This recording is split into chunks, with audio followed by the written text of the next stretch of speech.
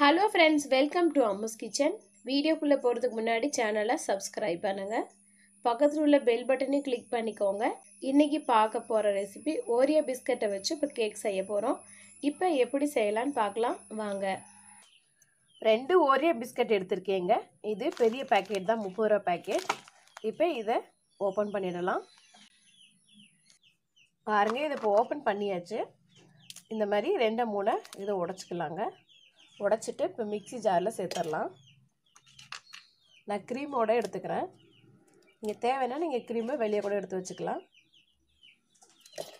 இப்போ எல்லாத்தையும் இந்த மாதிரி உடச்சிட்டு இப்போ மிக்சி ஜாரில் சேர்த்துக்கலாங்க. பாருங்கள் இப்போ எல்லா பிஸ்கட்டையும் மிக்சி ஜாரோட இப்போ உடச்சி சேர்த்தாச்சு. கூடவே ரெண்டு டேபிள் ஸ்பூன் சர்க்கரை சேர்த்துக்கலாம். பிஸ்கெட்டில் கொஞ்சம் சுகர் கம்மியாக தான் இருக்கும். அதனால் நம்ம இன்னும் ரெண்டு டீஸ்பூன் சேர்த்துக்கலாங்க. இப்போ இதை பவுட்ரு பண்ணிடலாம். இப்போ பிஸ்கெட்டை எல்லாம் பவுட்ரு பண்ணியாச்சு பாருங்கள் இப்போ கூடவே ஒரு பவுல் எடுத்திருக்கேன். இப்போ அதில் சேர்த்துக்கலாம். இப்போ பிஸ்கட் எல்லாம் ஒரு பவுலில் சேர்த்தாச்சு. கூடவே அரை டீஸ்பூன் பேக்கிங் பவுடர் சேர்த்துக்கலாம். நீங்கள் சோடா கூட சேர்த்துக்கலாங்க. கூடவே இப்போ இரநூறு எம்எல் பால் எடுத்திருக்கேன். இப்போ இதை கொஞ்சம் கொஞ்சமாக சேர்த்துட்டு நல்லா கலந்து விட்டுக்கலாங்க.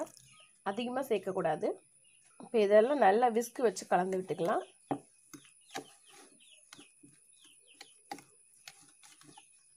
இந்த மாதிரி எல்லா பிஸ்கட்டையும் நல்லா விஸ்கு வச்சு இப்போ கலந்து விட்டுக்கலாங்க. இப்போ நம்ம கேக் மிக்ஸ் எல்லாம் தயாராகிடுச்சு பாருங்கள் இப்போ இந்த அளவுக்கு கரெக்டாக இருக்கணும். இப்போ இந்த அளவுக்கு இருந்தால் கரெக்டாக இருக்கும் பாருங்கள் இப்போ ரெடி ஆயிடுச்சு. இப்போ கேக் ஃபேன் எடுத்திருக்கேங்க. கூடவே பட்டர் தடவி விட்டுக்கலாம். உள்ளே ஃபுல்லாக பட்டர் தடவி விட்டுடலாம்.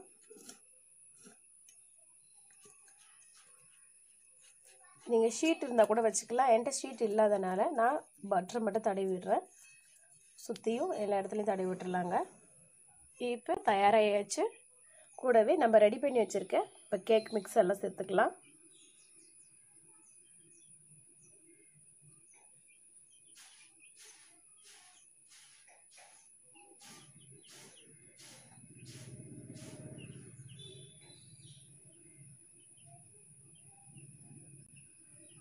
இப்போ கேக் மிக்ஸ் எல்லாம் ஃபேனோட சேர்த்தாச்சு. இப்போ லைட்டாக இந்த மாதிரி ஷேக் பண்ணி விடுங்க. எல்லாம் ஈவனாக வந்துடும்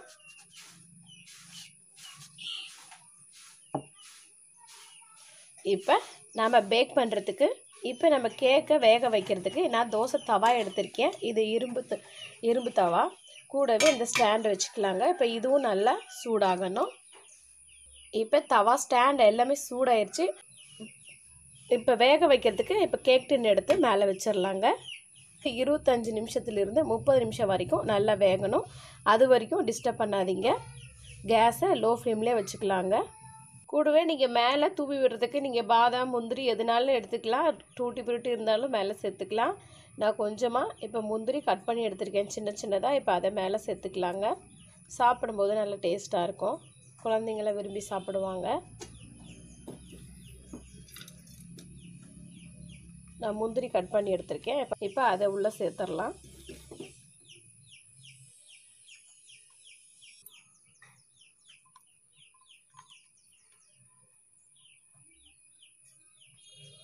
உங்கள்கிட்ட என்ன இருக்கோ அதை சேர்த்துக்கலாம். நான் முந்திரி சேர்த்துருக்கேன்.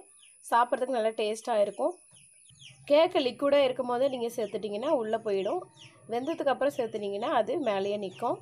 நான் இப்போ ஃபஸ்ட்டு சேர்க்குறேன். இப்போ இது நல்லா வேகட்டும். இப்போ க்ளோஸ் பண்ணி விட்டுடலாங்க முப்பது நிமிஷம் சொல்லியிருந்தேன். இப்போ நாற்பது நிமிஷம் ஆச்சுங்க வேகிறதுக்கு. இப்போ கேக்கு வெந்துச்சான்னு செக் பண்ணி பார்க்கலாம்.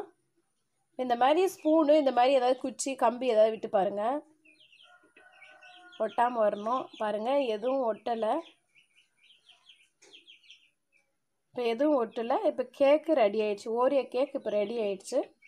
இப்போ எதுவும் ஒட்டாமல் வந்திருக்கு. அப்படியே விட்டிங்கன்னா சூடாகவே இருக்கும். இப்போ வேறு இடத்துல மாற்றி வச்சிடலாங்க இப்போ எடுத்துடலாம் இப்போ கேக் நல்லா சூடாக ஆயிடுச்சு பாருங்கள் இப்போ வேறு ஒரு பிளேட்டுக்கு மாற்றிக்கலாம்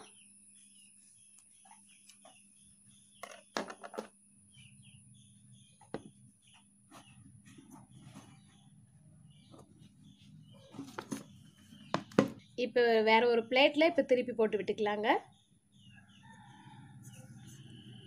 பாருங்கள் கேக் நல்லா சாஃப்டாக பஞ்சு போல் நல்லா வந்திருக்கு. நல்லா பாஞ்சு மாதிரி இருக்குது பாருங்கள் இப்போ திருப்பி போட்டுக்கலாம். இப்போ கட் பண்ணிடலாங்க.